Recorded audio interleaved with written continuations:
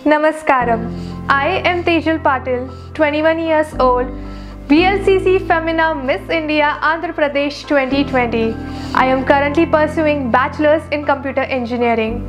I've been a happy-go-lucky child who loved being on stage, participating into various activities like dance, elocution, sports and many more. I am a state level basketball player and I've also won various medals in athletics for school and college. Sports has taught me some important lessons of life and one of them is keep going.